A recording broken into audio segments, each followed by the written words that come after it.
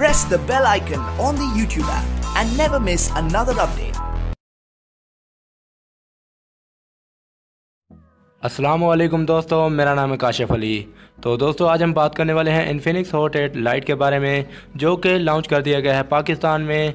तो आज हम इसकी प्राइस के बारे में बात करने वाले हैं। लेकिन यहाँ पर मैं सबसे पहले आपको एक पॉइंट ऐसा बताता चलूँ कि जिसमें जो है डिसअपॉइंटिंग पॉइंट जो है यहाँ पर देखने को मिल रहा है। तो आज हम इसके बारे में बात करने वाले हैं। तो चलिए वीडियो शुरू कर लेते हैं। तो दोस्तों, सबसे पहले यहाँ पर मैं आपको बात बताता चलूँ कि जो इन्फिनिक्स हॉट एट है, दो जी बी रैम वाला और जो इन्फिनिक्स हॉट एट लाइट है तो दोनों स्मार्टफ़ोन में जो है सिर्फ़ कैमरा क्वालिटी का डिफरेंस है।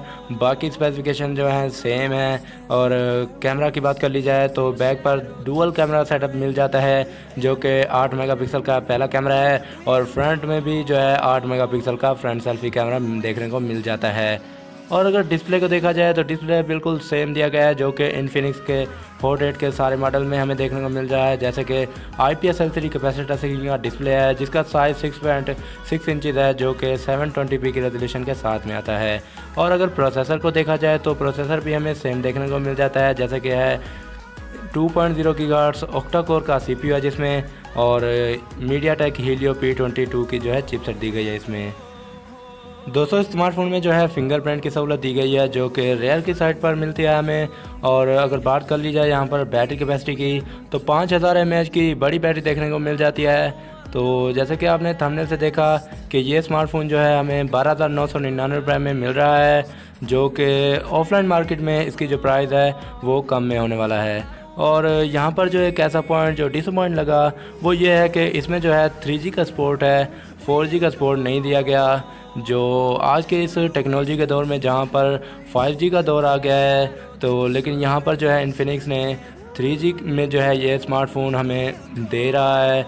तो ये एक चीज़ ऐसी है जो कि अगर 4G का सपोर्ट भी होता तो ये स्मार्टफ़ोन जो है बहुत ही कमाल का होता, क्योंकि स्पेसिफिकेशन के लिहाज से ऐसा कोई भी हमें स्मार्टफ़ोन नहीं है जो कि इस प्राइस पॉइंट में ऐसी बढ़िया सी स्पेसिफिकेशन हमें प्रोवाइड कर रहा हो।